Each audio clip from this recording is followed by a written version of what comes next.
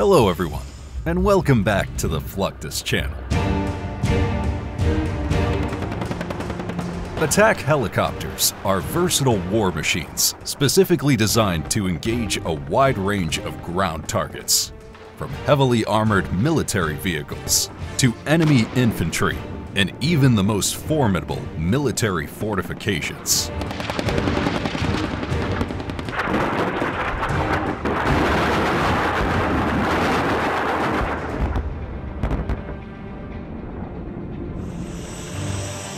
Equipped with an arsenal of weaponry such as autocannons,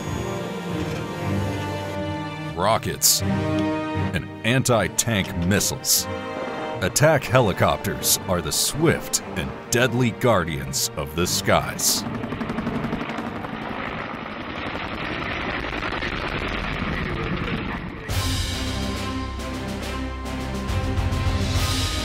During the Vietnam War, the United States lost several helicopters to ground fire. And thus, a need for an armed gunship to protect unarmed helicopters quickly became apparent.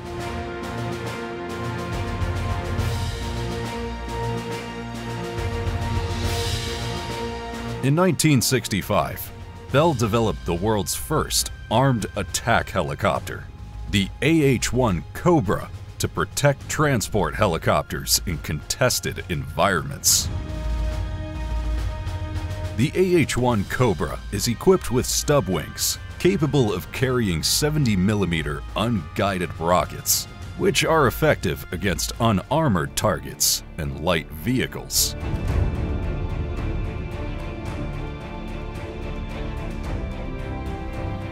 The AH-1 also features a chin-mounted gun turret, which offers versatile mounting options for miniguns, cannons, or grenade launchers. Can be operated by both the pilot and co-pilot stationed within the AH-1's armored tandem cockpit. The development of the AH-1 Cobra opened a new era in warfare leading to the development of advanced helicopters like the AH-1Z Viper. Though similar in experience, the Viper features a contemporary design including four rotor blades composite rotor system, a four-bladed tail rotor, upgraded landing gear, and a fully integrated glass cockpit.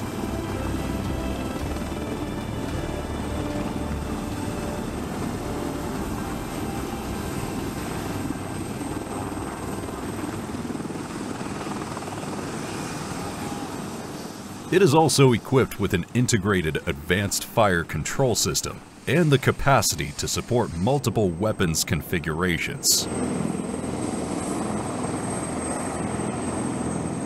In addition, the Viper has a more extensive range and higher top speed, ultimately increasing its maximum takeoff weight by 4,000 pounds, which allows it to carry a heavier payload, including rockets, air-to-air and air-to-ground missiles, grenade launchers. Utilizing all of these features, the Viper offers invaluable reconnaissance and ground support for combat troops in various scenarios. We can bring double the ordnance. We can extend 20 to 30% on both the range and the fly time uh, for a time on station for a ground commander. On the deployment of the Viper, it is expected to find a UH-1Y Venom hovering nearby, as the two helicopters generally travel in pairs on a mission.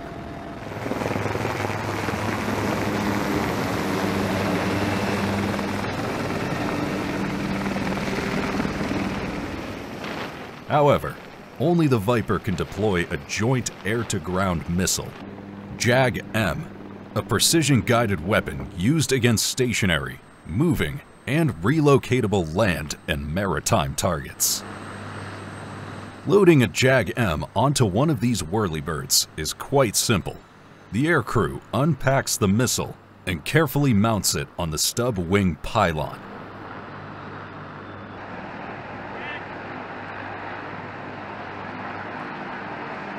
After mounting the JAG-M physically, the aircrew integrates it with the helicopter's avionics and weapons systems to ensure it is ready to be deployed on the battlefield.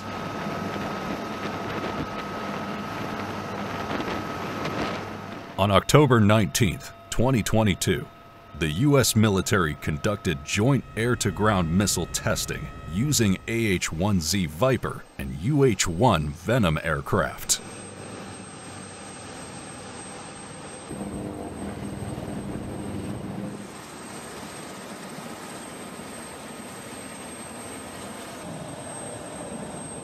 The helicopters fired joint air-ground missiles at stationary targets on the ground repeatedly to destroy them.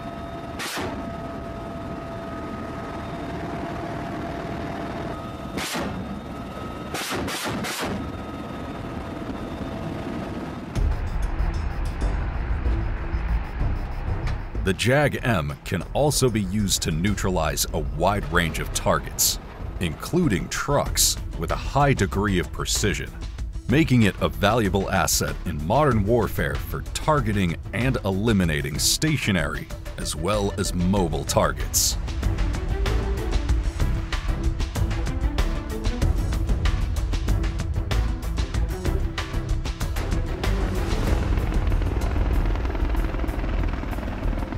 While the AH-1Z Viper is mainly operated by the U.S. Marines, the U.S. Army relies on helicopters such as the AH-64 Apache for their air-to-ground operational needs.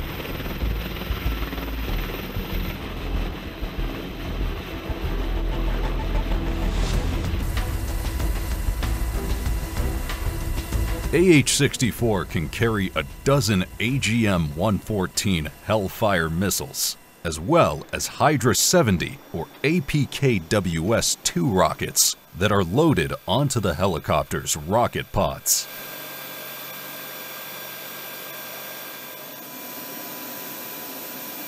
The aircrew ensures that each rocket is carefully aligned and secured in place to prevent any movement in flight. The Apache crews frequently participate in aerial gunnery and live fire exercises.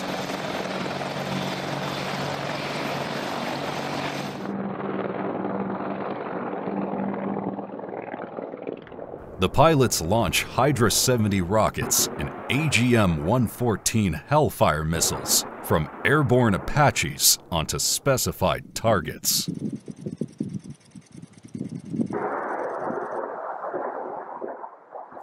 Despite the high cost of these missiles, the U.S. military conducts these exercises to ensure their pilots receive comprehensive training across all their weapon systems.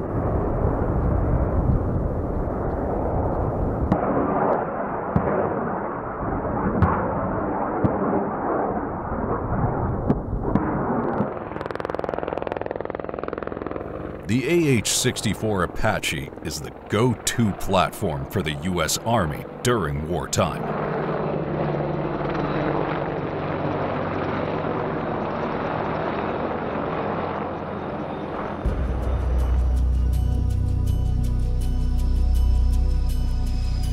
On the other hand, the U.S. Air Force uses aircraft like the A-10 Warthog to provide close air support to ground personnel.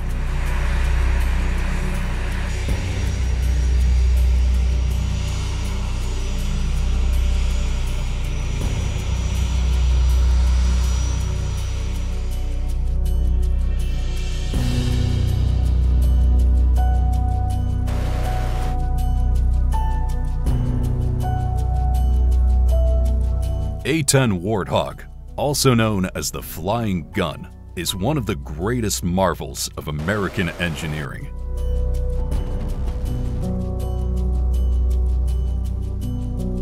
A-10 has proved effective against all ground targets, including tanks and other armored vehicles.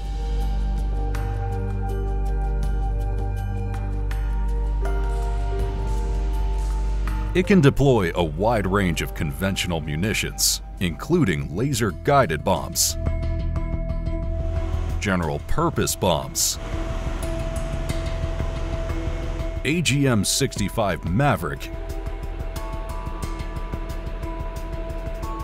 and AIM 9 Sidewinder missiles.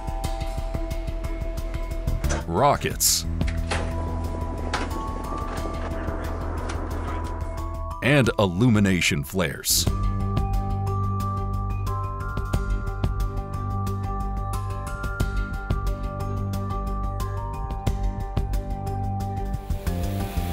Moreover, it features a GAU-8 Avenger 30mm Gatling gun mounted on its nose.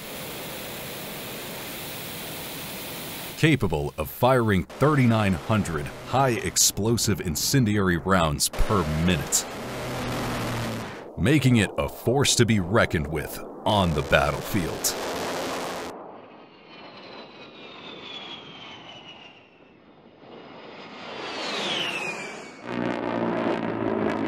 the sound of the A-10. You just know that whistle when it's flying over, and you know that that means someone's got your back.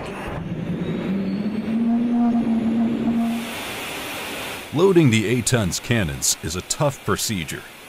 The ground crew members use specialized machinery to feed these massive rounds into the A-10's drum-type ammunition magazine.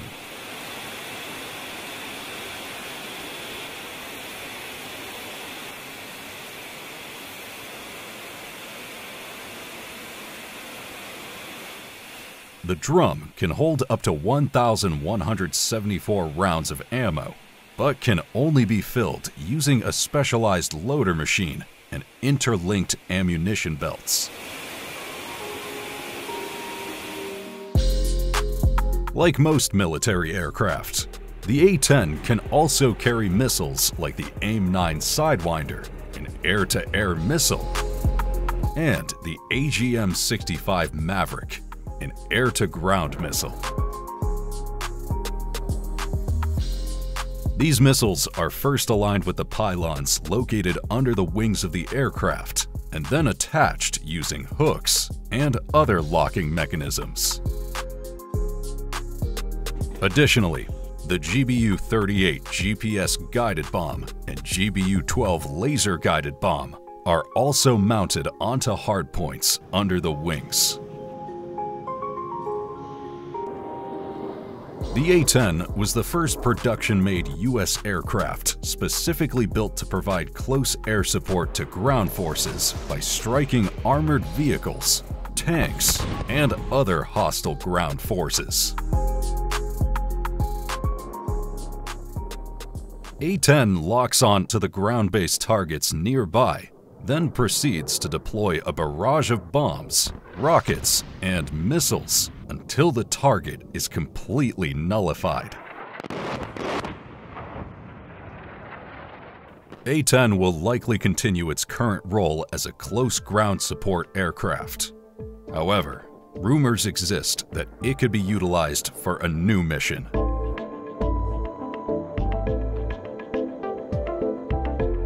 Recently, an A-10 was tested as a mothership for special drone decoys that could be deployed to confuse the enemy. Only time will unveil whether this application aligns seamlessly with the A-10's capabilities, or if it's just speculation.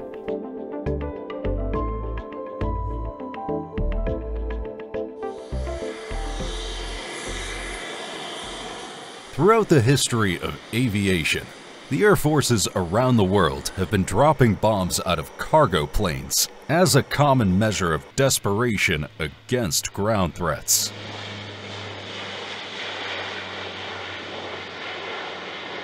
However, in 2009, the U.S. Marine Corps developed Harvest Hawk, a kit that allowed the KC-130J refueling tanker to deploy missiles mid-air. With the addition of the Harvest Hawk, the aircraft serves as a reconnaissance aircraft while still being able to provide ground support in the form of Hellfire or Griffin missiles, precision-guided bombs, and 30mm cannon fire.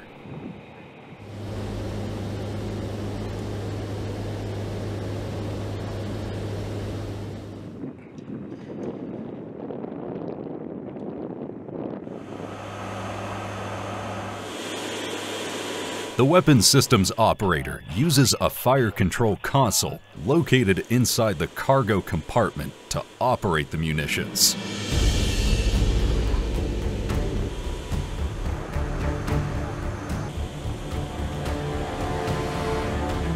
In addition, the Harvest Hawk features the AN AAQ-30 Target Sight System TSS system that uses an infrared and television camera to detect targets up to 10 miles away.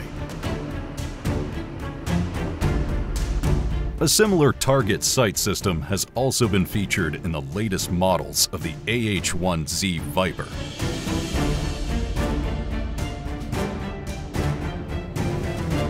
What's more intriguing is that even after the Hawk system is integrated with the KC-130J, the aircraft retains its original capabilities in refueling and transportation.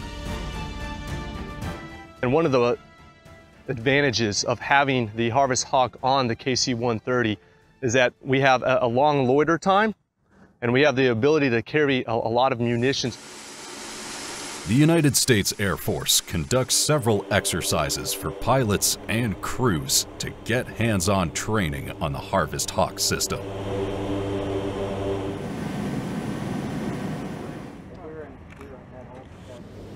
The squadron operates the Harvest Hawk system mounted on the KC-130J to improve its ability to support ground troops.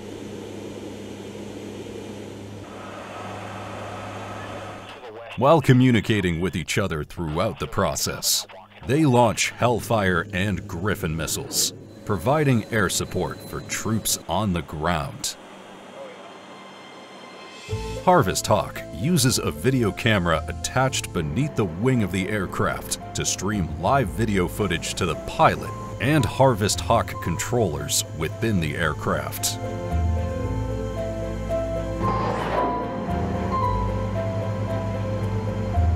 The controllers monitor the live stream on the screens and coordinate with the pilots and crew to identify and launch munitions on the ground targets.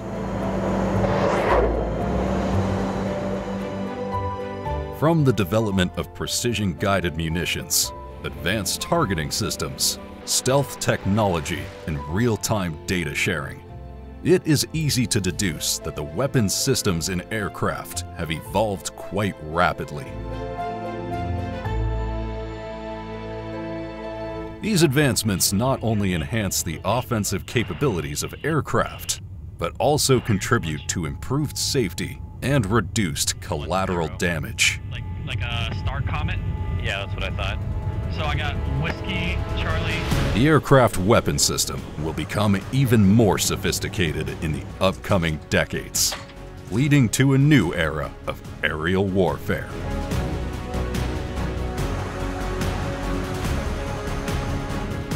That's the end of this video. I hope you enjoyed it. Make sure to subscribe to this channel so you don't miss any of our new content. See you next time.